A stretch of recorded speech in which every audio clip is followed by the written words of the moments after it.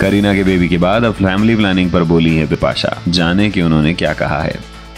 बॉलीवुड में इस वक्त हर तरफ़ करीना और उनके बेटे तैमूर की बात हो रही है। करीना हाल ही में माँ बनी है। वैसे करीना के अलावा शाहिद कपूर की वाइफ मीरा भी कुछ महीने पहले माँ बन चुकी हैं।